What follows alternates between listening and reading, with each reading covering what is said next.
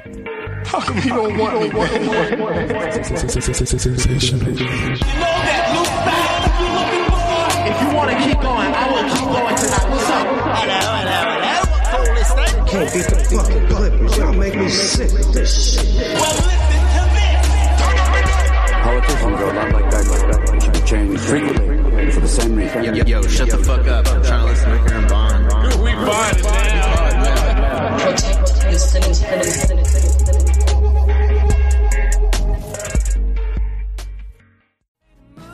Could've made a move if I knew I'd be with you. It's too late to pursue. I bite my tongue, it's a bad habit. Kinda mad that I didn't take a stab at it. Thought you were too good for me, my dear. you can hear that? Yeah. Yeah. He hit him with the freaking the uh like 2004 white boy band hard R accent at the end there. There's a lot of that on this album. It was very, I mean, uh, it's cyclical, right? I was like, all right, they were getting back to like when 20 something year olds were like listening to Yellow Card. I like I I listened to it. I was like, I don't know why, but I really I really really like this Yeah. this album. It's kind of New album. It came out like July something. Steve Right. Lacy live in R&B Studios, August 11th is when that was uploaded on YouTube apparently. I think he Provided to you some Grammys for that. provided to YouTube by LM Records slash RCA Records.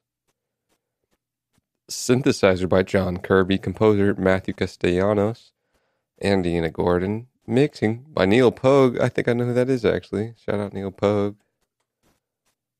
Do I know who that is? Shout Yeah. out Steve Lacy for making a song that will forever be remind me of September 2022. Okay. You you hear music, uh, you Yeah. just hear it. You're just like, ah, I know where I was when this came Yeah. out. Yeah, yeah. That's your that's your September 22 album. That's the one. I don't think I've had a new timeline album for me in a minute. I don't think. When's the last album I listened to that was like new? What about After Hours? Besides that, dude, I, I was uh, I was in uh, Huntington last week, and I was in an Uber, uh, going from Huntington to Santa Ana, and this guy, first of all, knew like someone from like my hometown that I didn't know, but it was kind of weird. Two, he was in LA from like 2016 to 2020. And I was like, oh man, I, was there 18 to 20. I was doing like content, music, event stuff. He was like, yeah, I think I might have, I might have heard what you guys were doing. In LA? Yeah, Maybe. yeah, yeah. What we were doing was kind of cool. Big impact.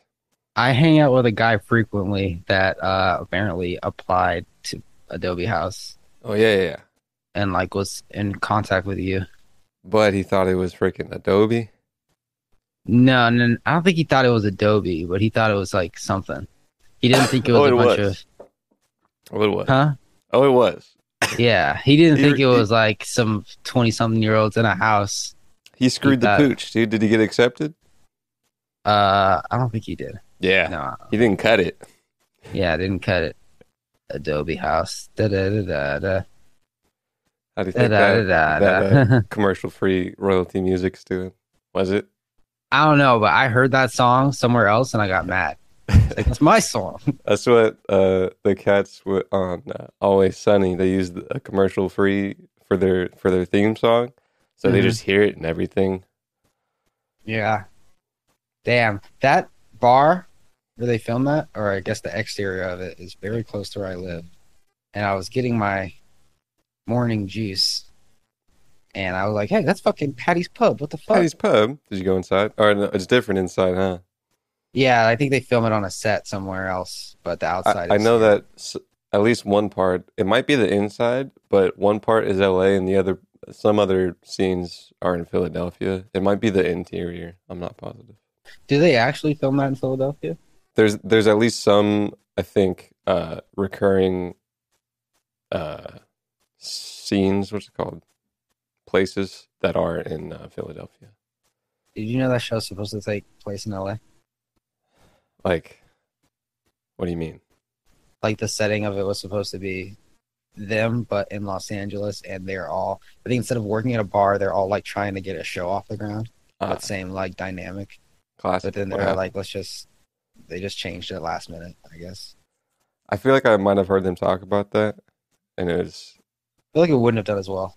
Yeah, I think that's that was kind of the gist of like it's more gritty and like fun and you can do like wacky stuff from just like cats in like the middle of Philadelphia.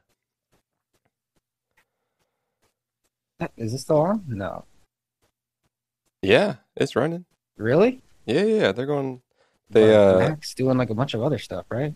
yeah, they're all doing a bunch of other stuff. Um I know the Dennis uh took a couple seasons away from writing to do his own thing.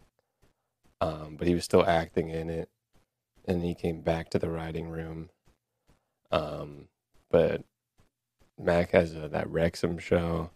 Charlie's always been the movie dude.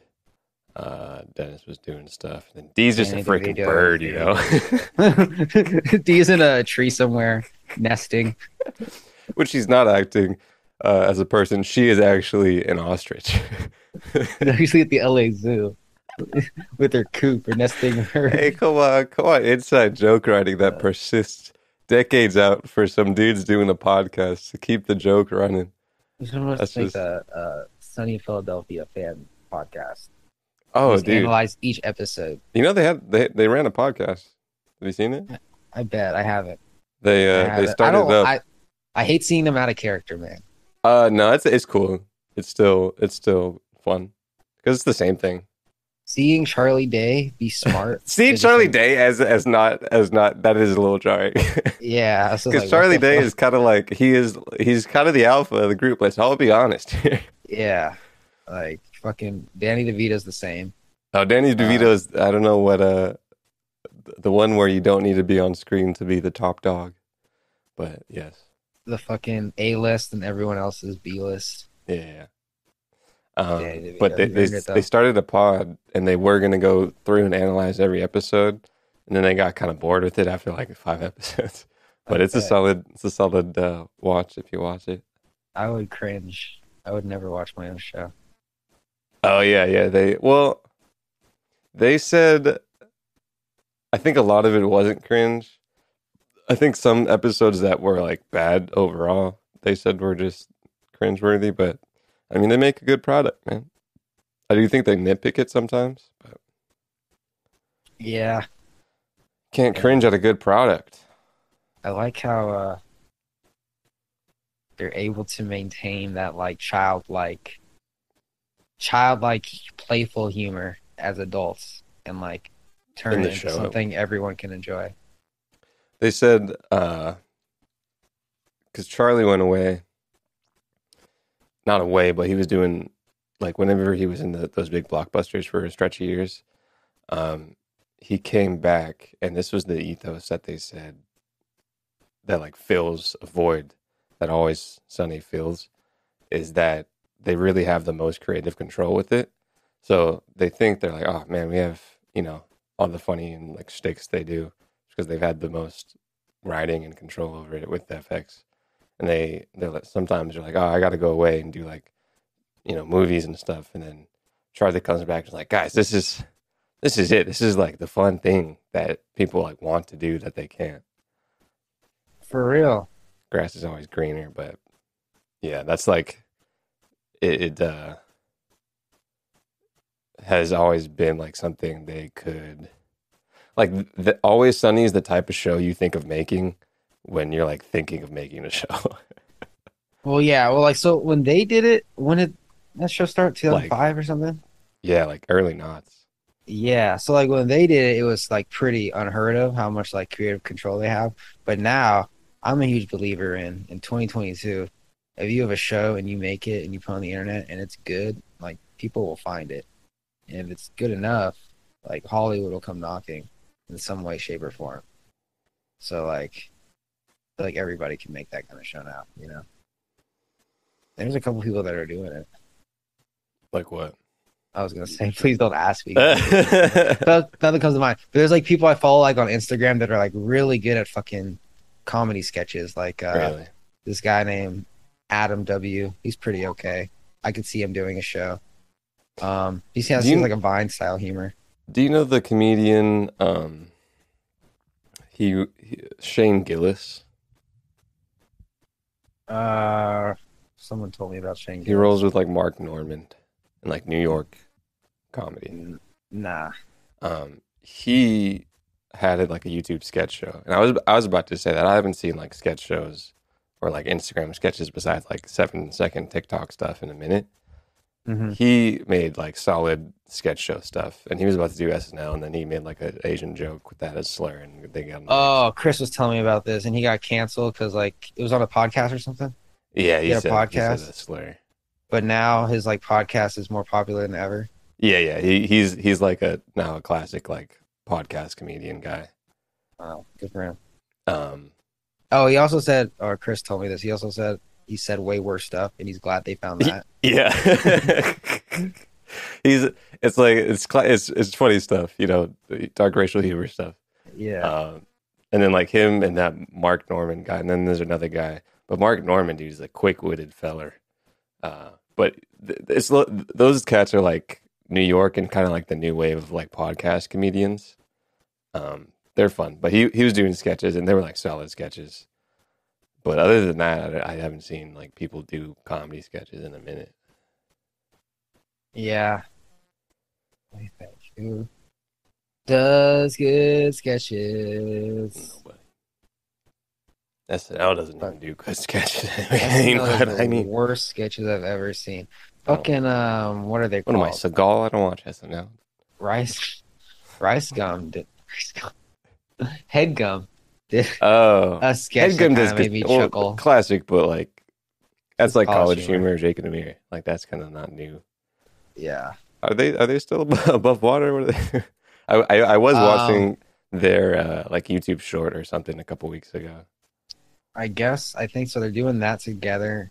I think Amir has a basketball podcast that's doing okay, and uh, Jake does like some Dungeons and Dragons like podcast that's pretty big. Dude, Dungeon and Dragon content kills in the podcast word world. Yeah, It's pretty. niche. the pretty fuck down, interesting. bro. And it's so like unexpected because Jake's such a good-looking guy. You you'd expect it to be switched. You know, he What do do the you mean? basketball and Jake do, and Amir do the Dungeons and Dragons. You you would think that Jake would do the cool stuff. Yeah, you think that that Jake be getting all the hoes and Amir just be watching because And that he's was a talking character in about the, in the LeBron show. stats, and let's let's get on brand with it, guys. Come on, aesthetic wise. Yeah, god damn, Jake and Amir. The girl is funny too. Classic. I forget. I don't know her name, but Yeah, and also that one guy whose Jeff- hair is that long, Jeffrey. Jeffrey. Classic, dude. He's a friend of the pod. is he still with that one girl? Probably not. I don't know, but I feel like I have more acquaintances with that one girl than I do with Jeffrey. yes, I would also say so so. I guess I'm I would be on her side, but I don't really know her, so I'd be on Jeffrey's side. I don't know her either. Team Jeffrey. Jeffrey makes me laugh. Kinda. Jeffrey's Jeffrey's a, a solid, solid guy. Yeah, you know, living East. and working in fucking Silver Lake or wherever that place is. I love Silver Lake. I low key like it. That's what- When's the last time you were in Huntington Beach? Huntington Beach, probably like uh around New Year's. I can actually tell you exactly, like New Year's Day, probably. I went to another money related festival. I saw Big Boi Big Boi of OutKast fame at Huntington Beach. as as a performer. Oh, It sweet. was a, uh, Have you ever heard of- festival about financial advisors and tech and money. What's it called? Uh, it was called Future Proof, held by Advisor Circle and Ritholtz Wealth. Shout out the Hmm. boys. Have you ever heard of Vid Summit? I just I saw that commercial. Yeah, someone was telling me about it, and he was like, "Dude, Are YouTubers back like- now? He was like he described it perfectly because at first i had no interest i still don't really have interest but he's like dude it's like vidcon except they price out all the fucking teenagers and oh, all Oh, the fans cool. so so it's just like people that are like industry people yeah, yeah. And well, that apparently Mr. that is Beast, cool like, because VidCon was like. VidCon was always like retail. yeah vidcon got like real bad real fast Yeah, but that's what low-key what vidcon was in the beginning it was kind of like industry. it was industry people. for community people. yeah but then, But then fucking- you know what? You know what the pivot was was when all those teenage girls were flocking towards one of the Pauls.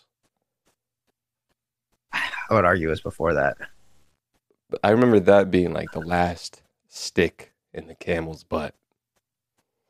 I remember around Ray William Johnson era, there were Yeah. some fucking teenage boy uh stars on YouTube that were starting to pop up that were like they had like uh Justin Bieber pop star fangirl status. And I was like, this is becoming like different. I don't think I want to come here anymore. But yeah, no, it's almost like a thousand bucks and Mr. Beast owns like half of it. And it's just like uh you just talk about like you know how Getting to grow as a company. That is cool. I'd rather go to a YouTube growth con than a YouTube fan con. Comic Yeah, con. fuck YouTube fan. Vid. Vid. But dude, I've been I'm so I came I came back from Atlanta and I was like hyped and like energetic and I came back from Huntington and I had like maybe one or like I was finna go to London and right now it's like I'm on the fence if I'm traveling where Why? I'm I'm tired. Yeah, it wears you out, huh? it does. But because last time I was like, bro, let's go, we still going. I think this time I had like I just I was chugging espressos all day. So whatever chemical that floods your mind, I think I'm at a like the, the trough end of that right now. Uh huh. and uh, it's not. I, I've had to sleep for like two days. I feel you. Wait, so you recently came back from Huntington? I came back Wednesday. Yeah, it's quite a it's quite a bit of traveling. Train? Train, yeah. Yeah. Sometimes it's good to just stay home. I love it when the weekend hits. I have nothing to do. Sure. I was at the gym for like a couple hours today. I was like, dude, I can stay here all day. You know? I do, dude. I gotta, I gotta either hit a gym or get some good dumbbells because whenever I hit a hotel gym, Oh. I, I swell up like a ball, dude. Never. Fuck a hotel gym. I could be, I could be stoked on my swollenness. All right. I do, I do. I think I'm gonna have to be in LA. I'm doing uh, uh, a speaker gig for blockchain joint. You want to go to blockchain summit? When? November one through three. Yeah. I'll be there. Sure. Go for fucking work. Yeah, Dude, you could do that. playing around with uh bubble, dude. Yeah, it's the wave, Okay. dude. it can get powerful. Hmm. You know, I feel like I'm just scratching the surface, and I'm like, what? And I'm watching these videos. This guy's like, yeah, make a fucking Uber from scratch. Make That's the thing. So I was I was looking at the templates and stuff, and uh I was thinking the overall like because someone picks a template, and then there's uh, fifty thousand people that are making an app that's a super saturated vertical of this app. Yeah, but this is my thought process on that. So I started with the template and then I dug into it and I was like, bro, this is way too fucking difficult. Like, and then I just was like, fuck this, you know? So I feel like there's like a really high like barrier to entry. It's just like, what the fuck is this shit, you know? Because you expect like Wix or WordPress or something Mm. and it's totally different. And I was watching some videos and people are like, no, it's not for making just websites. Like you can make products. Like you can make back end software for like a restaurant or to like for fucking you know, you can make like a fucking product. Yeah. Okay. I was like, okay, let me give this another shot. And so I like started from like a beginner's crash course, like from the very beginning. Nice. And then I like got a foundation. And I was like, okay, now I know the basics. Let me jump to something more advanced. And I'm like learning shit. I'm like, oh, okay. Like after a few months of this, I can put something together that's like fucking as good as if I were to like code it up, you know? Okay, so it is it is more of learning coding language, just a little bit of easier barrier to entry. Yeah, yeah, yeah, yeah. Unless yeah. So instead of like building. the way, yeah, the way I describe it is like the front end is like drag and drop, right? but then when you're programming stuff on the back end, you're not using code, but you're still using like logic. So you have to like tell things what to do and like bring it like make a database in the background and shit. And I'm just like, damn, like this is like fucking literally what I needed.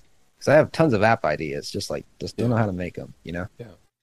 So I'm just gonna focus a lot of my energy on that moving forward.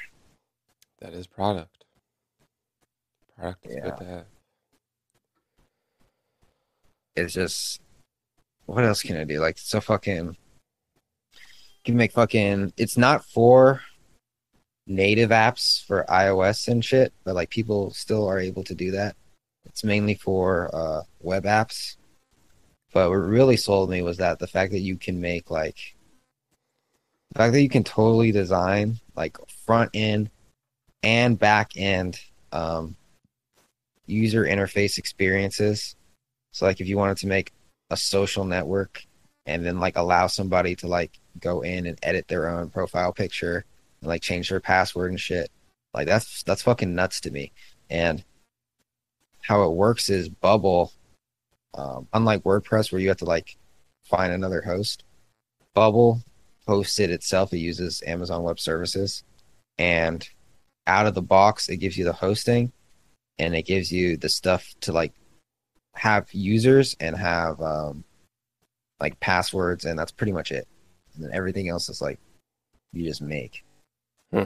So Sounds like a an amazing way to get a lot of emails.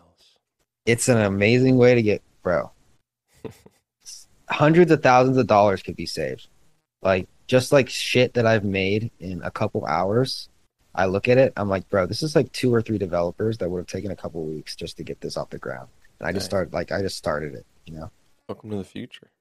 welcome to the future bro like they should teach this to kids in school for real Oh, no code. Get, get a uh, elementary no code game going and through the through the years. yeah and track if you want to learn on like a on a blockchain. Yeah, and if you want to learn how to code, like this is a great way to start because once you like Sure. figure out how this works, like I'm sure code is Sure, rather than harder, but- freaking back end into like yeah. Java. Because when I was taking coding classes, bro, Yeah. I didn't see a user interface for fucking months. It was just yeah, the the um the like vision of what you can make, and that's probably what Bubble fixes, but the the the vision of this will be outputting this and to like wrap your head around that as you're coding things is Mhm. very segmented if you're learning like C plus plus or something. yeah, Because it's I also like think- you're you're building tiny features here and there, most likely, and that's always what's been different of like back end, front end stuff, and like UX versus a coded button on the top left corner. I think a lot of the programmers, like the coders, Yeah. moving forward will like be making stuff like Bubble. Yeah. For people like me. Yeah. And they'll be working on like fucking like really super difficult stuff like AI, machine learning shit, you know? That probably you can't do with drag and drop shit yet. Meaning what? But- programming I mean- AI to do stuff and like Like, programming like that. self driving car. Like shit like not making web applications to sell fucking socks, you know? Making like really sophisticated stuff to make tools, you know? Yeah. But uh I do I think those people will be paid fucking super well, but th- those jobs will get harder and more scarce because like That's probably what's already- needed right now in in um, in terms of let's say America as a country innovating technology. Probably reached a plateau of you know programmers making things and, and apps and things. Like the coolest top companies right now are Apple and enterprise tools for companies and Amazon databases to hold everything in. So if you have those tools that a kid with a lot of ideas can make a product in with with a few hours of and months of work, you probably get a, a bit more of idea banks getting deposits. Exactly. So you're right. We don't need more coders. We need more programmers. Mm. Tell me the difference between coder and programmer. So coding is just like, how do I explain it? Coding is like the language you are using to program, to tell the computer what to do. But you don't have to use code to program. You can use something else to program. Right? So with coding, you're essentially like using like ones and zeros to tell the computer to do something. But you could use ones and zeros is a bad example. You're using um, characters. But you can like use like what colors. Wolfram Alpha did. Wolfram Alpha, I believe, did, or they Uh-huh. they were doing normal language, uh, human languages, written languages, into computational stuff. Yeah, yeah, yeah, yeah, yeah. So, So, like whatever Br- like- bridging the languages of programming equals process or activity of writing computer programs. Yeah, so whatever whatever the computer just uses the follow instructions, and coding is one of the ways to do that. But coding is so sophisticated, it can create tools to make it easier. A computer program is a sequence or set of instructions in a programming language for a computer to execute. Man, the uh, so so when you sent me that that uh, video of programming languages, and you said the end was cool, what were you? What end did you like? I was talking about the part where it goes from because it essentially went from like because each each programming language is just made from another programming language, right? So you, you got to think like where's the, where's the beginning? So the part where it went from whatever coding language they were talking about to transistors Yeah, or the zeros and ones to transistors, that part was cool. the uh, metal transporting the electricity. Yeah, I was like, what the, like, what? And it even said like what year each thing started. One of them was like sixteen something. I was like, what? The, what? Was that with uh, Miss Ada? Oh, yeah, something like that. I think she was in the eighteen hundreds. That's what Cardano was named after. Nerds, am I right? Fucking nerds. They even mentioned Haskell, which Cardano was Yeah. written in. Fucking nerds. Just the, the the goats, dude. Icons of the biz. yeah. I got them. I got them. I got posters on my wall. I bet there's a there's a grip of kids that have posters of programmers like that. Carlos Hoskinson stole my girl. Can't get her back. I missed. Uh, he he popped up in a Twitter space that I, I could have been hosting. Was he beefing with Drake? no, he's. Dude. Has has there been has there been a celebrity? I, I I'd probably assume Vitalik would be the one, but has there been a celebrity that that talked to one of these crypto cats? Like I could see like Drake posting up with Charles. Um, fucking Ashton Kutcher is pretty tight with Vitalik. Yeah, but Ashton Kutcher's not cool anymore. He's you know, like like a picture with Drake and Hoskinson, a be picture weird. of Snoop Dogg with J.P. Morgan. Snoop Dogg and Vitalik, I could see. I could see Alex that shit. freaking Trojan horse, dude. Dude, Vitalik should do some push-ups. if he did Vitalik, 10 a one, day, Vitalik's one of those guys that's like, I have enough money to cure any disease I get, so I don't need to exercise. So it's like maybe he gets his physical endurance from just millions of impact outside of his own self. Yeah, but like muscular, Or act- he's just getting that sweet, sweet juice from Chase. or he's just too busy sucking fucking everyone's girl that he has no time to go to the gym. Bro, I was, uh, I got, during the concert part of this conference festival, free IPAs. Your battery's exhausted, dude. Fuck! Keep it going. Vitalik was busy hyping everyone's girl. You count down the merge, man? We all. I didn't even know it was happening. Really? What? Did you know the merge was happening? No, I knew it was Come happening. dude. I just didn't care. POS, dude. Come on, proof. I proof oh of god. dude. I- Come on, uh, do it, dude. Oh god. I work at a crypto news company. I'm over it. For- uh, hey man, you're telling me? Why do you think I'm going towards TradFi? I'm over it. Uh, yeah, I I get it. You know, it's funny. I was talking to a cat. Uh, it's like a adjacent colleague of mine, and uh, he is kind of like a degen with it, um, and a little bit more on the tech side. Not even like fully tech side, but you know, he likes tornado cash and stuff. Um, you know, rest in peace to the homies. uh, and he was like, and I was like, well, you're talking to retail from like a branding perspective, right? This is a, a software upgrade to like a system. And he's like, no, dude, we can't call it a software upgrade. And then I was listening to cats like kind of financial tradfi cats talk about crypto, and they're like, yeah, it's like a software update. I'm like, I'm, I you, people people understand software update. They're not going to know it's a freaking hard fork to a different mechanism of verification. Why did he think it wasn't a software update? It kind of is. It no, yeah, that's what I'm saying. But he was like, "Oh, we can't call it a software update. These these nerds on Twitter are gonna laugh at us." What? but it's a software update, man. Like, don't kid Yeah. yourself. It's like, damn. Okay.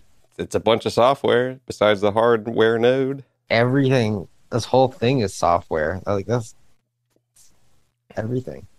So we were talking about transistors. I was looking at my phone. All electricity, but like Wi-Fi, not electricity. Wi-Fi. I don't know how that works. Radio waves or something. So I'm saying, I was trying to like bridge that to Well, I mean, like, you need electricity for radio waves. I'm, not Um, a, I'm not an electrician. I'm not a physicist or whatever the fuck that profession is. Just electricity. have a podcast. Just have a podcast and make thirty times more than any physicist alive. Except Says Joe deGrasse Rogan. That guy is loaded. uh, yeah, I don't know. I was just, I was I was thinking about the very like nitty gritty electricity of what computers are, and then Wi-Fi. Wi-Fi is wild. I don't have the answer, but I, I thought that was a cool amalgamation of two things. You ever think about how Wi-Fi and Bluetooth are everywhere? Yeah, yeah, I do. I sure. just like I sure do, any country and like the Wi-Fi logo is just there. Talk about mate. Whoever branding the Wi-Fi logo, solid. Yes. Someone came up with that shit. Someone I made remember. www. I, I the guy who made www. I don't know what it is. I think it's a protocol. Uh, it's still alive, and he like talked at like Web Summit. Is it Tim Berners Lee? Maybe I don't know. Tim Berners Lee was the creator of the internet. But was he creator of the www protocol? I don't think so. How come Tim Berners Lee isn't just swimming in pussy? Probably because he wanted a decentralized internet. Probably because like he wanted nobody to profit off the internet.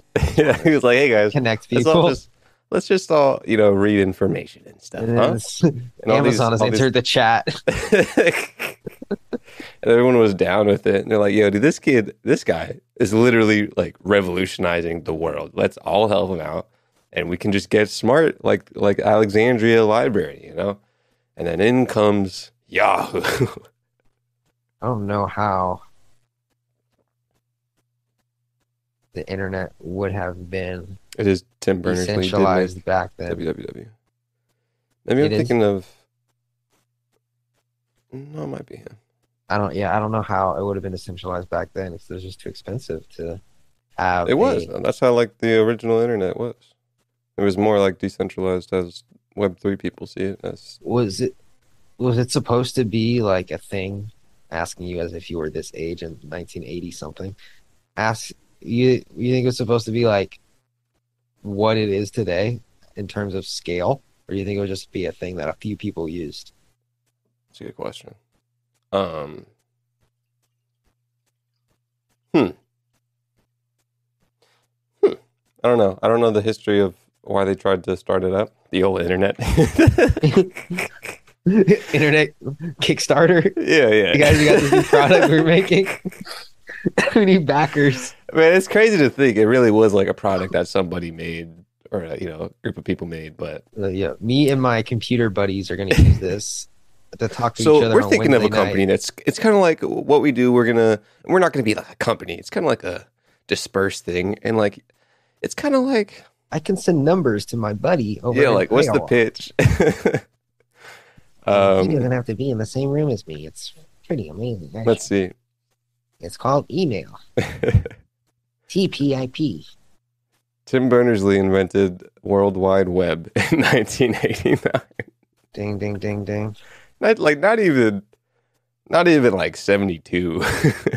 Wait, wait, wait, what, what year? World Wide Web 1989. Yeah, that was like yesterday. like quite literally. Uh, co-founder CTO of Inrupt.com, tech startup which uses, promotes, and helps develop the open source Solid platform. You know, what's interesting is that there's this is probably the first time in history where there have been a significant amount of people that lived a huge chunk of their lives without the greatest communication tool in the history of mankind.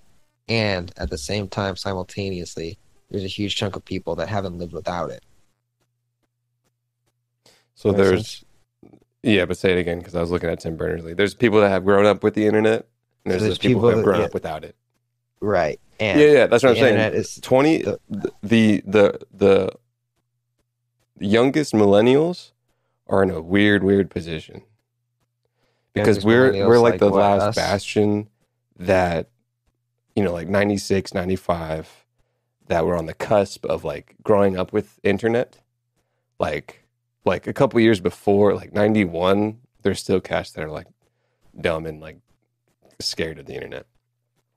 Like my older cousins like i was talking to sean lee shout out sean lee. Just turn it tour in india right now. I was, I was talking to sean lee when i was when i was in huntington. During the Uh-huh. Big Boi concert free ipas when it's time to time to drink. You know when it's time to drink it's time to drink. Freaking never.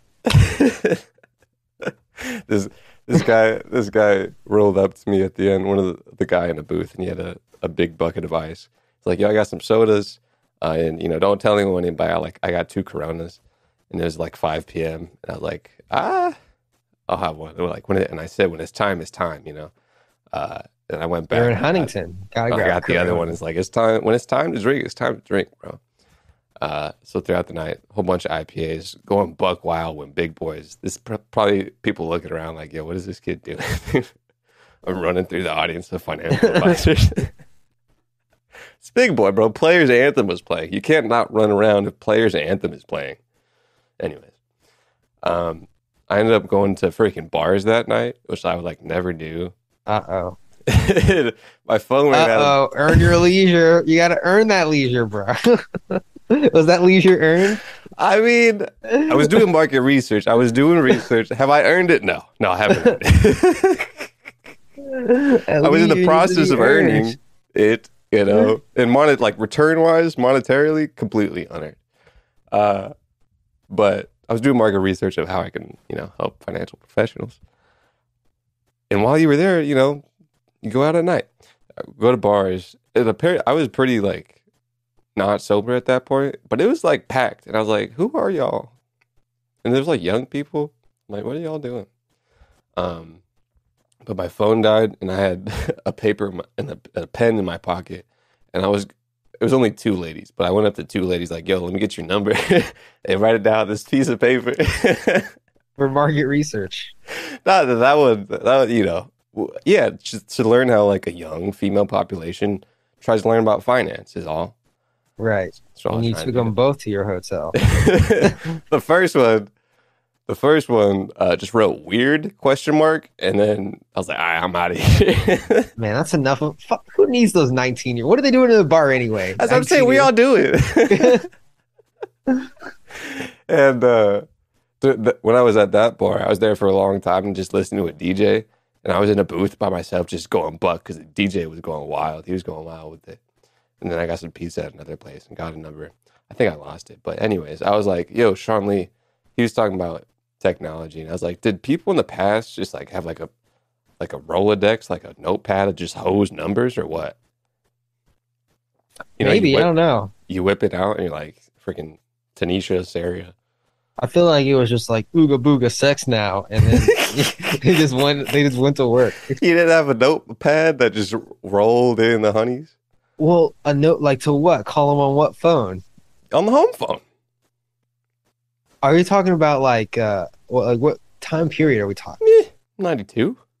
Okay, I thought we were talking like back in the day when there was no electricity. No, no. Uh, like like your older cousins. Uh, I, I mean, I I have phone books and shit. Phone books.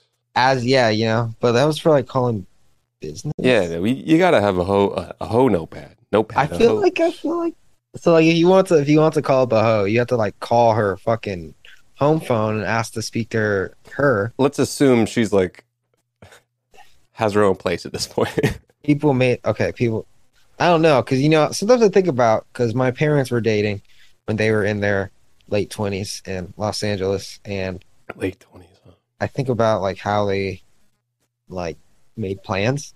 Yeah, yeah. You know, Home phone. Um, but yeah, it's a, it's like, what if they're not home? I, like I don't get it. I don't voice- understand. You leave a not voicemail. There was a voice machine. There was a voice machine. My mom used to say she used to like go to work and like, like sometimes like her car wouldn't start or some shit, Yeah. and she would like have to call her uncle to come get her, Yeah. and like he would just know where she was. Like, she would just be like, "I'm here at, at this street," and you just be there in 15 minutes. Yeah. Well, yeah. You got to first impeccable timing too, right? I, I'm, I'm when I'm outside, I'm pretty like good on like my timing. Like I, it's pretty dope. Pretty proud of it.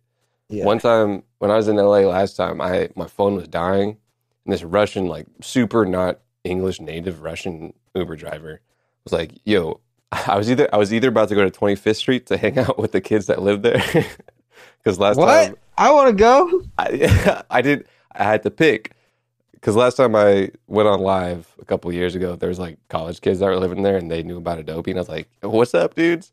So I was either about to go there, and at this point, I was like, "I'm gonna go there and charge my phone," or I have like two percent. I have to coordinate with this Russian Uber driver to pick me up at a certain area, and I did that, and you know, you have to be like, "All right, go to freaking uh, LaGuardia Street and be there."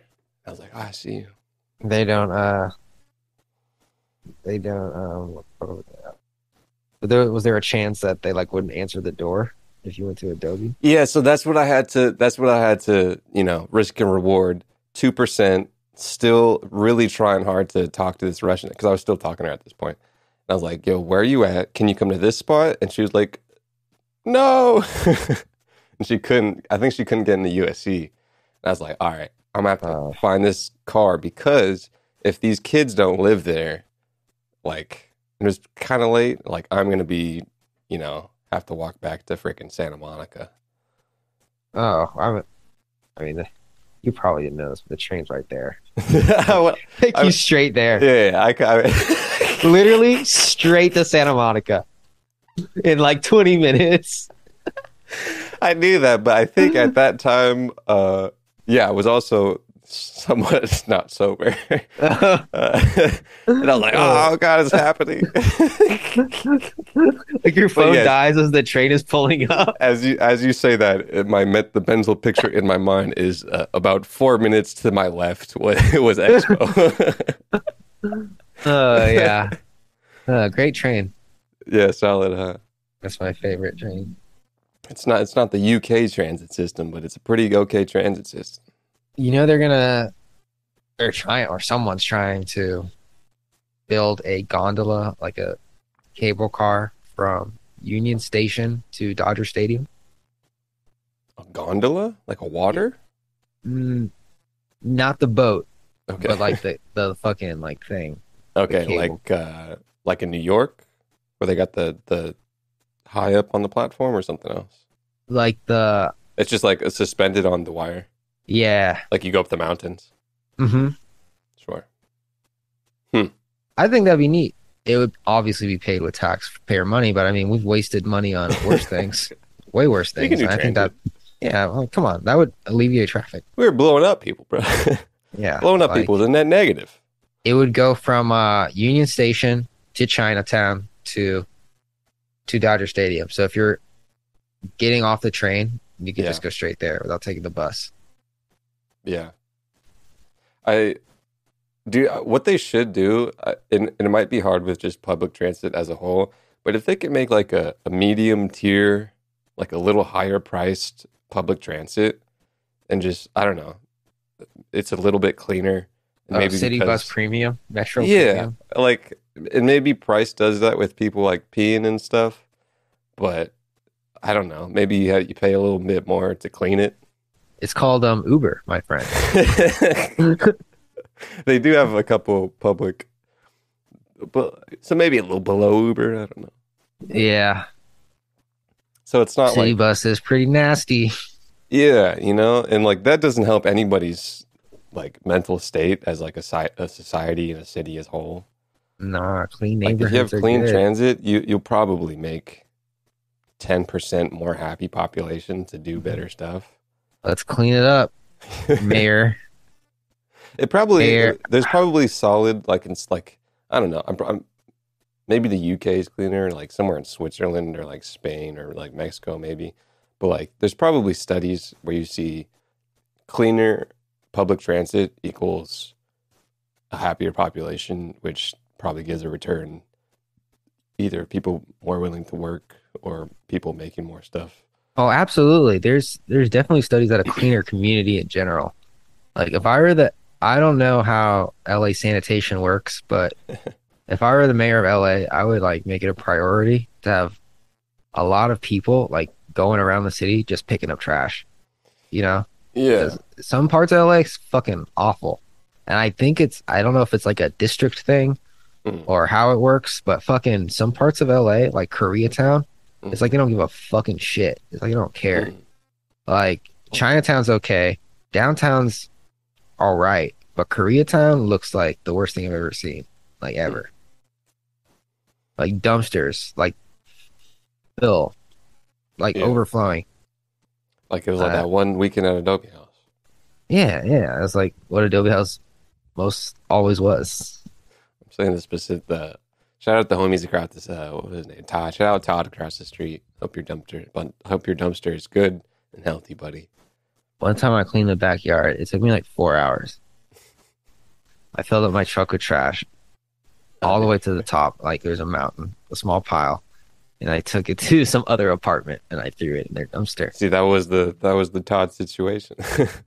Yeah, but some lady was definitely like looking at me. Yeah, that's a that's a, that's a definitely a a uh, a neighborhood peer no no for sure. People don't like when you do that. No, as, as someone now who knows a tiny bit more about property, I I understand Todd. I would have done what Todd did for sure. I probably would have done a little more.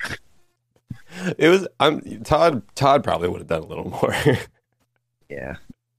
it's so, but you know that his like his property manager dropped his keys in in the driveway on 25th. Property manager. So it was Todd and then the the cat who like does stuff around the property uh Uh-huh. had a bunch of keys, and while they were dumping trash, I think homie dropped his keys. And I picked up the keys and like walked it back to him, but there was a whole lot of like it could have been neighbor warring, probably too far, but I had keys to these cats' houses, and I decided to be nice. Damn. what am I gonna do? Just, Go in this lady's house? go in there and take your shit. yeah. Uh, take this person who lives here. yeah. Fuck you for doing for wronging us. We're literally doing nothing. first. Fuck you for trying to live peacefully while we have our parties every yeah, yeah. How, how dare you try to sleep for a year straight? How, dare you be 95 while we have these You ragers all night? Miss Katie probably had it the best. She probably had bad hearing. She woke up a Sunday morning and was like, "Wow, it's really nice out." We woke up refreshed. We're probably babies to her. For real, man. I was I was talking to like a like a I was a, a few people I was talking to. I was talking to a homie who was cool, and uh, I was like, he was like a physician, and he was doing cannabis stuff now. And I, and I was still kind of inebriated during the concert night. And I was like, "Have you seen the the bit where Kevin Hart is talking to? Uh, I think it's the the Captain America guy, um, Captain, not Captain Falcon, but he's the he's the black dude who's the the other character, Yeah. or like I I, think he's actually it, the new Captain uh, American, huh? I forget his name, uh, but Anthony Mackie. Yeah, yeah, yeah. And Kevin Hart was like, "How old are you?" And he said his age, and then Kevin Hart said, "Damn." Okay, first of all, that was Don Cheadle. You racist oh, my bad, my bad. you said his name. I said, "Sure, him." you said, Is Don Cheadle not Captain the, America? You said the new Captain America, dude. Okay, so I was wrong. so I was Don wrong. Cheadle. Don Cheadle was the old Iron Man.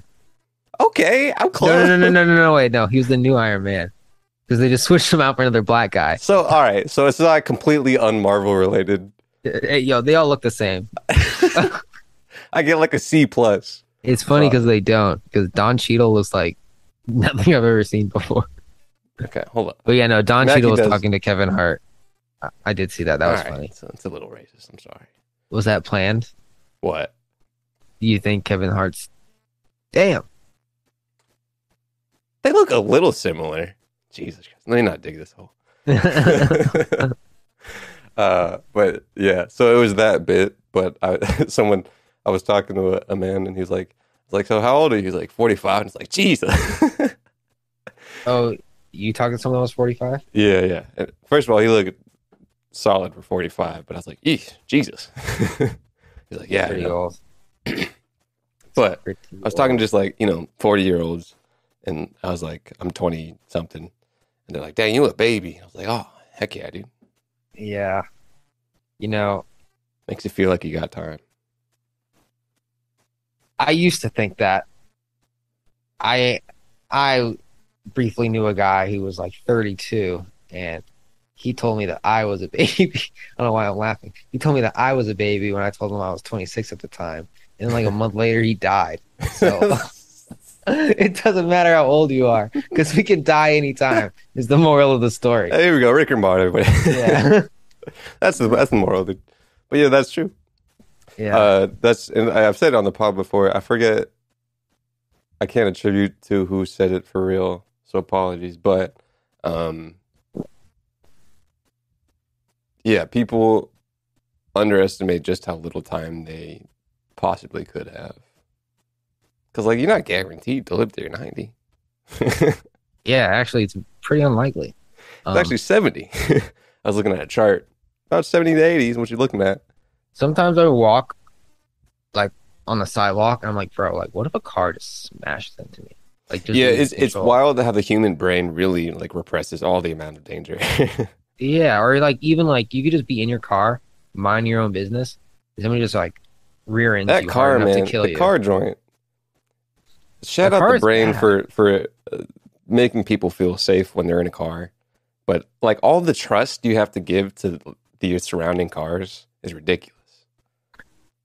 Yeah, we put a lot of trust in cars. You think that's just from people just being in baby in cars since they were babies? Well, I mean, it's still. I, I mean, like drivers, not cars itself. Oh yeah. But yeah, I'm sure you know horse to car transition. People are like, y'all are gonna freaking make explosions, But like to so propel much you trust in, forward. but, like so much trust in driving, people be texting, doing their makeup. Yeah, You yeah, know, it's like it's, it's too much probably trust. the same thing. Um, that's still driver. Like that's not the car.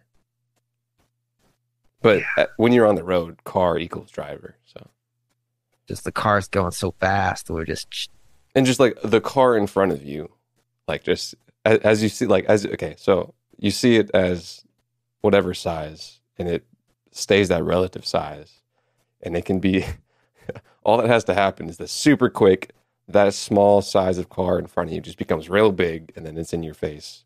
in no time, Yeah, half a second, yeah. milliseconds. and like you at that you can't in that scenario, like there's nothing you can do. it's nuts how driving is just the most extreme cooperation between Yeah. humans you know it's i'm surprised there's not more car accidents It's the bloodstream. I mean, humans as an organism, like it's it's going through the blood. It's like we're like ants. Yeah. Macros, micro, micros, macro, man. It's the fucking the, the trade off. Like risk death, but you get somewhere real fast. You get somewhere. You get somewhere real fast. I don't want to carry my groceries by hand. About everybody at a certain point, it, it'll probably be less in the next few years. But liking remote work so much is like, dude, there's a lot of risk of like going outside. not to be like you know super soft, but like if I could not do that, you know, I you got to think about that. Yeah. Yeah. I mean, we all make risk assessments every day go outside. You know, some people just don't leave. Some people, what is that called? Hermits, There's like a, an actual medical term though. Something A, I think. hermaphrodite. It's not. Let me see. Forgot. I don't know. But yeah, you're like afraid of outside. Uh, uh, uh, uh, I don't know. Let's see. That that's a little like you, you've had trauma in your life. Afraid of outside. Shout out the word syndrome. Pretty- Agoraphobia, Yeah, yeah, yeah. where is is the fear of being in situations where escape might be difficult, or that help wouldn't be available if things go wrong. Oh shit, am I agoraphobic? Well, I think I think agoraphobia might just be hyper hyper anxiety. Many So- people assume agoraphobia is simply a fear of open spaces, but it's actually a more complex condition. Someone with agoraphobia may be scared of traveling on public transport. It's just hyper anxiety. Anxiety. Yeah. And it's like anxiety at a certain point where you're not trying to go on a bus. Which is actually rational. Going in a- plane, literally, you cannot escape a plane. You know, stats are nice with it. It's is is like the stat that airplanes don't are less deadly than cars? Is volume put into that equation or not? I would assume you- so, but the, volume of the plane. yeah, because I'm assuming there's less plane traffic, like amount of planes in the air than there is cars. So is like, Absolutely. well, that's the reason. that's, that stat is. That's the reason why there's less. Oh well, that's not a good stat, dude. You only get like a like a ratio.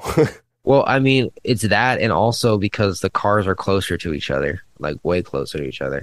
I need like a per capita, whatever analogous thing per capita is for volume of planes and cars. I think people are like, when people think of plane crashes, they don't think of two planes crashing into each other. They think of the Yeah. plane just crashing or just falling out of the sky, which doesn't happen very often, thankfully. Planes don't be crashing, man. That's what I hear. Uh, yeah. One time I had a uh, a, a pilot, two pilots. They were both old ladies. Mhm. Am I wrong to have been a little nervous? Eh, it's probably a little bit more risk of old health stuff. So They probably had experience, but yeah, you know, how was their blood sugar? how was their blood pressure? Did they take their pills this morning? Was their pills giving them any side effects that could affect their perception? Their eyes? Was their cataract cataracts acting up? No, oh, they you need eyes to fly a plane. 200 people on this flight, ma'am. did they have a uh, a good lunch that day? Did they have a good lunch that day? How's their digestion?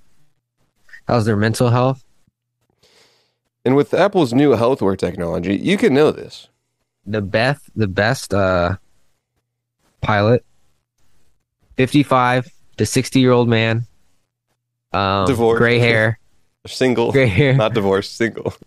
uh, newly married, freshly divorced, two think this is kids in college, I think this And- is somewhat racist. been flying. Hey, I didn't say I didn't say any race. I thought you I said just white. I heard white. No, I just said I just said man. so Mm, it's might have to rewind that back, or else I just had two racist ticks on my on my my uh, check mark.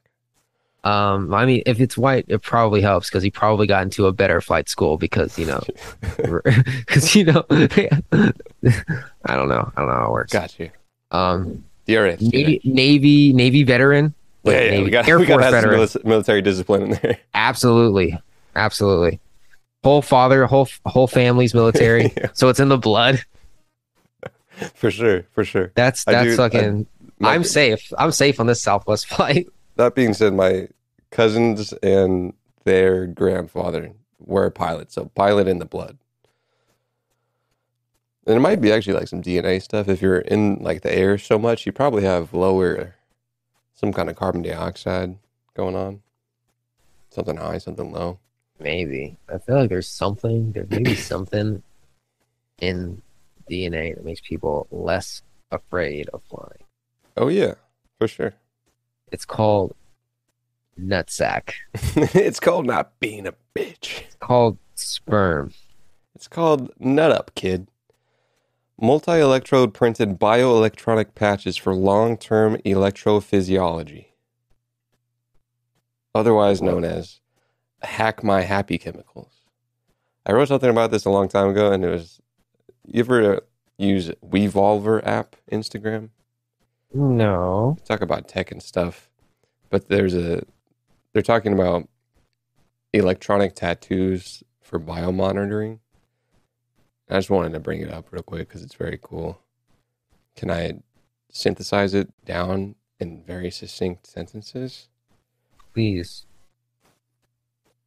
Wired tattoos on your body that track everything from your brain, your eyes, your facial, heart, respiration. If someone knows everything about you, you can hack the way you live your life to optimize habits, interactions, and scenarios to have the optimal end result for what you want to live in life. So if you're talking to somebody and they're they're uh, you know how you talk to somebody and either like your level your energy level goes up or down, you feel good, you feel bad. Oh yeah. oh Oh yeah. Uh, that's probably some chemical reaction. So if you can track which people, and you might have a whole ecosystem of like you can track and like categorize certain people, it gets a little privacy, you know, in the weeds. But you can track which type of people or which people specifically leave you higher energy after rather than lower energy. So you can kind of give a Rolodex a hose, your whole Rolodex, and see Oh, is my this hoe making me sad or happy? I can just check on my Apple Watch yeah, it'll be in you know, Apple and get notifications. but something like that, you know. And it probably will be Apple because that brand has to be trusted out the wazoo. So either, I, I think actually healthcare professionals aren't super trusted, like doctors and stuff. Um, Apple might be Probably like the most trusted brand. Maybe Amazon, but I wouldn't be surprised if Apple's like the if people make some kind of survey most trusted brand. So Apple Yeah. gets into healthcare, hack your happy chemicals. Damn, the fucking Apple Watch has some pretty nasty uh shit. It can like track your period, your ovulation cycle, like based That's on the scary. temperature of your wrist. Yeah. And I'm glad it's Apple doing that and not Google. That's what I'm saying. But uh that might yeah. not even be a worthy sentiment, but it is the sentiment. I think we're really close to being able to have your watch say, "Bro, don't drive. You're too drunk." That's what I'm saying. So I was also there's also I'm gonna have to get with the company one as we wrap up, but they were talking about it, it was some startup and they were on stage and they were talking about their they worked at Apple I believe or Google and they were gonna say they were saying we're eventually gonna have to take a good look at the emotional interaction of humans and technology. And people kind of have already thought about that with like sex robots and stuff. But even just from like a phone perspective of the attachment you have to that. You think um I was talking to Zach about this. And he was telling me that because of that and because AI is just getting so ridiculous, Mhm. he was saying that eventually robots not robots, but AI should have rights. And I played devil's advocate and I was like, no, it shouldn't rights should be reserved for humans because humans made rights for humans. And he was like, "Well, like, what if a what if an AI is as sentient as a human?" And my argument was, it could never be as sentient as a human because its sentience is like just uh, a combination of a bunch of small parts of sentience simulating sentience. But is that really sentience? He was asking. I was like, I don't fucking know. So I don't know. What do you think? I think a lot of people probably thought about this and probably should think about it more that are making it. But there's probably room to say that computers can compound some kind of intelligence that might go beyond humans. Yeah, so like if if a computer is like, "Hey guys, I can feel everything you can feel. Give me the right to vote or whatever. Like give me the right to marry who I want to marry. I know what love is. Like Sure. I'm not a fucking monster." like would we be like, Whoa! "You're just you're literally just a reflection of what we taught you. You're not actually feeling what you think you're Uh, feeling." But I'm saying, I think that there might be technology that goes beyond that. Like beyond. oh, just this is like we can't even comprehend what he's feeling cuz Yeah. it's just like something. I think be. I think his level of pain computers. like it, it's it, the question is, can computers be smarter than humans? Or maybe that isn't the question. Maybe it's like more emotional or something. well I they can co- be they are Yeah, I smarter. yeah some are So, in that regard, it makes sense that they could compound a sentience. Sentiency. yeah fuck what was i gonna ask you um I don't know. Stay there is brought to you by AI. yeah ai sentience I do think that the use of AI, you've seen it in DALL-E and art, generative art things, um, will boost human creativity. Just like as a producer, I've always thought about I just want to sit back and kind of think uh, with a computer program about a song, a beat I want to make. And let's say in, in, in the form of DALL-E, right? How does an AI or computer be an extra thought process for humans? And how does it compound thinking for humans? If you have a business idea, you can just sp- spurt it into a program and out comes several business ideas. You still somewhat thought about it, but using the power of a big database of computer technology, uh, it feeds back into you like you're talking to a business partner of cool ideas that could be possible, what might not be possible, what could give good return. well there is a country sorry a company in china called next dragon or something gen dragon something they just replaced their ceo with some ai Oh, really? Yeah, and it just makes decisions based on what will make the company more profitable and will make what will make employees the most productive. And these people just follow what this AI says. And a lot of companies are going to do that. And there's going to be some companies that make this AI straight out of the box and sells it to, to other companies. CEO in a box. Apply it to your company now. I mean, that's kind of just math models. Um, it's like because you know business is really just like math at the end of the Yeah. day $10 billion Chinese gaming giant appoints world's first AI robot CEO. Modeled after a female human, the robot CEO will mainly help streamline the company's processes and enhance operational efficiency. So is it really just the freaking chief operations officer, which makes sense because it's a computer? Um, i AI guess so. is it the ceo or coo it is says it's the CEO, but operations and computer programming goes, you know, hand in hand. Efficiencies of money and stuff. So it's a CFO too. Kind of depends on the, the role of what the CEO does. the ceo is definitely a good role to be outsourced to a computer Uh, AI ceos tank companies AI intelligence powered virtual humanoid robot Miss Tang Yu NetDragon Websoft operates multiplayer online games, which is interesting that that company would. So who chose to do it? The board and creates mobile applications. Appoint you as the CEO of its principal subsidiary.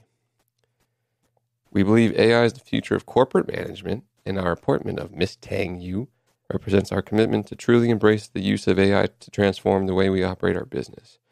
Is this a public company? I don't know, but somebody should make a corporate AI app on Bubble and sell it to companies. Corporate Uh, AI suite. It is a public company, which in Hong Kong, which might be different, but for the Chinese government, I would assume had some say in that, at least a tiny bit, unless they're going a little away from the invisible hand in China, which they might be, but you know they had the old uh, man's go missing.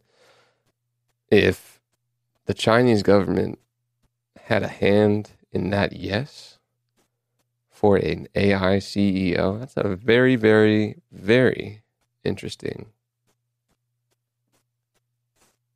They're probably pushing for it because it's easier to control an AI CEO. They don't have to kidnap and replace the CEO like they did with the fucking Alibaba guy. Ma, Jack Ma. There you go. Jack Ma. Um, Literally yeah, kidnap him and replace him with a clone. He's literally ti- he's tied up in a basement somewhere. I'm Hey. telling you. I don't. I don't know nothing about macro politics. Okay. I'm And I'm- LeBron knows this. LeBron. he knows this. And we still supported him in Space Jam 2. Ah, here we go. Rick and. Thanks for listening, everybody. uh, yeah, might as well end it there. I'm just saying, if uh, you know, technology can be quite handled by a government, especially in China. Is there a software that just automatically goes through your podcast and makes TikTok clips complete with captions ready? Just automatically slices it up. You just say, I have an hour episode. I want 10 clips. Go through and find the best clips. Like a 65% chance that exists. Let me get on There's- in bubble. an 85% chance that there's bits and parts of that. I know for sure there's um, companies that have a software that looks at creatives and can optimize based on engagement on social media. How would you do that? So, is there in Bubble? Is there ways? Can I track like video and stuff? So, like, can I like categorize certain moments in video? So I think what you would have to do is you would have to, yes, kind of. You would have to like make a thing where you upload the video and then it takes the video audio. It uses an API to transcribe the audio and then uses some other API to like look for points in like the transcription where there's like natural pauses. And then it would kind of guess this is probably a good part to stop and to cut it and then it would take that information back to the video, cut it up, automatically add the captions in the middle. So I think you, I think you could do that. It would be difficult, but I think you could do that. All in Bubble. I think so. I think I, I need some practice. Now that I'm thinking through it, the only thing I don't know how what how you would do is um I th- actually I think you can do everything. See, this is what I'm. This is what I'm saying. There's an API for everything. back to the saturation thing. If everybody can make a cool app that they've thought about, and, and it and it cuts the the obstacles you have to jump over to go from very cool idea, which a lot of people have, to execution of that idea, that idea which some people can only do now quickly because of amount of capital. If everyone can make TikToks and be famous, and everybody can make apps very easily, you, you said this before, but that saturation goes into what scares Dee, which is people making those tools. Well, it's just like program things. Well, remember, it's just like I can make I can make a TikTok clone, but it's never gonna be TikTok because all the users are on TikTok. You know, So still goes back to just market population.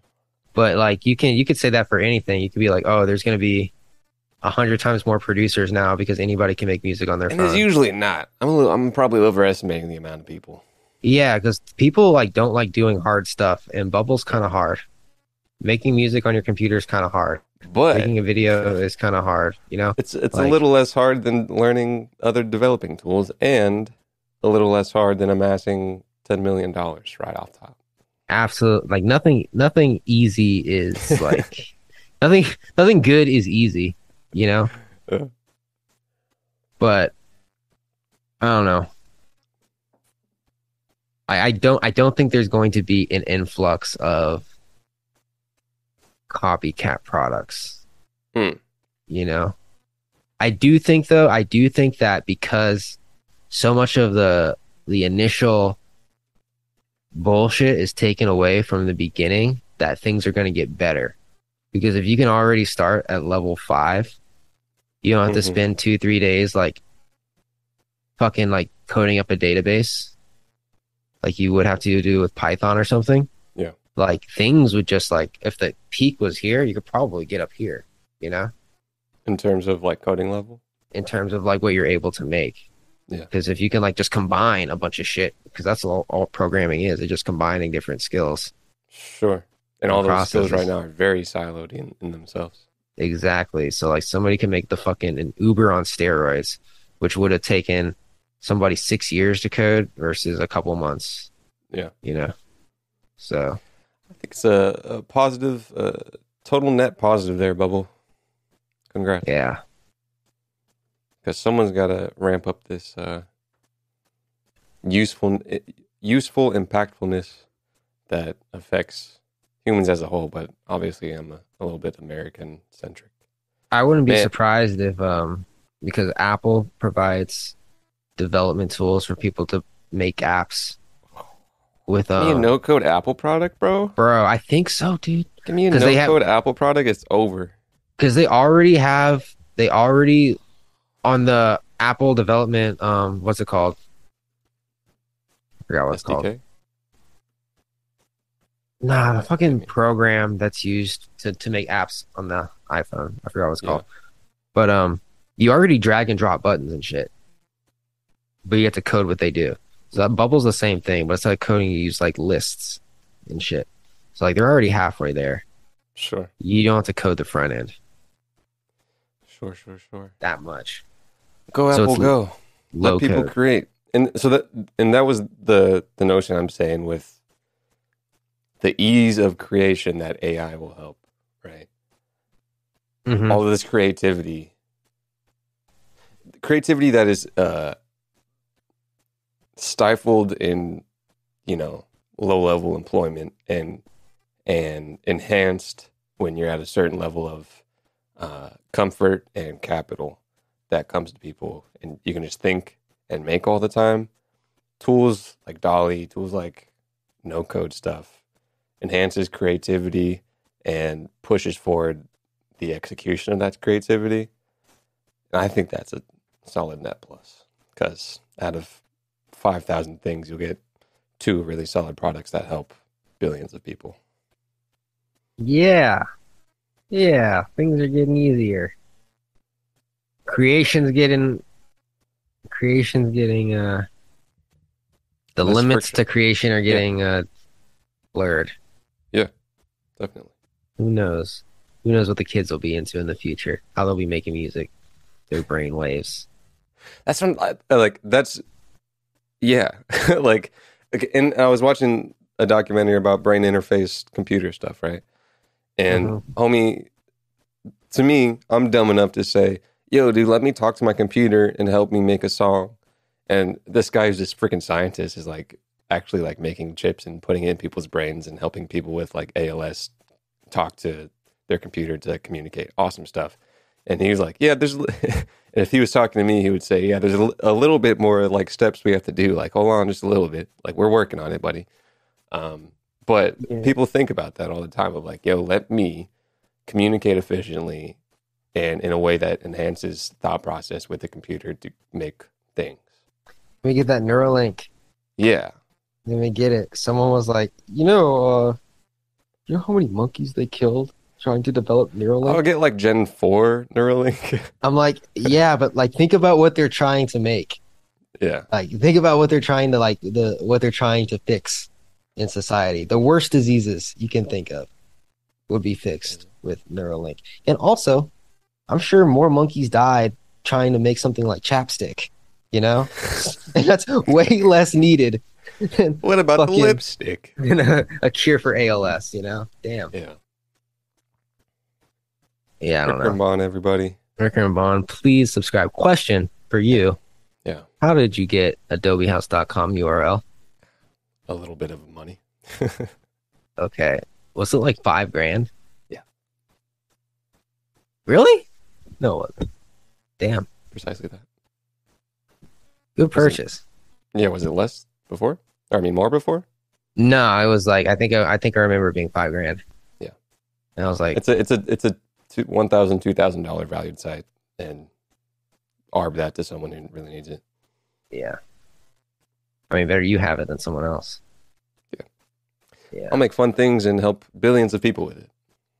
Yes. I was talking I was talking to the guy who was in LA. I was giving the whole my story, Adobe story.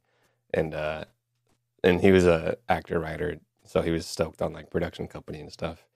And so I was like, Yeah, kinda, you know, people go separate ways and, and uh with lack of uh distance distant distance lack of distance is a lot easier to maintain a group and when there's distance in between whatever um so i was like yeah ended up to you know last of the squad to associate with the name uh he's like so it's the same name of like what you're like doing now from before i was like yeah like you know adobehouse.com right now and he was like stoked on it and that's that that same little like branding stokeness Who is this? um, just an uber driver oh, yeah. That's kind of like um fucking what's his face? Warren Buffett, yeah, yeah, yeah. Berkshire Hathaway. The the the brand is always so fun, dude. And he agreed with me, like making names and stuff, and that's always the best part. It's my favorite part. Yeah, Making it look good in Photoshop. So yeah, cute. it's so fun. That's why people legit have businesses of like legit just like like like someone bro someone had a business um that was like naming businesses. I was like, sir, how do you pitch that to somebody? But you probably have like ten years of corporate work under your belt. Some people don't like making names. I love making. Who doesn't love making a name, bro? That's the best part. If I can't And- think of a name, I won't do the business. That's what I'm saying. Like if I if I can't think of a fucking ball name, it's over. Next. if you have a uh, if you have a naming company, a company that names stuff, then you freaking integrate with like a GoDaddy, and you're like, "Yo, dude, we can get you hella customers, and we give them like five percent off, and then boom, boom, boom, naming game, dude." Naming it. Damn. Damn son. All You're right. Rickandbond, rickandbond.com. Costs a lot more than five k. I'll tell you that. RickerandBon.com does? yeah, yeah, yeah. costs more? Oh, dude, billions more, I would say, Yeah, definitely. or at least Jeez. like one ten Couple Yeah. Thanks for listening. Give us Thanks five stars. listening. Tell a friend to tell a friend. Peter, love you, Bo. Love you, buddy. Peace. Peace. From time to time,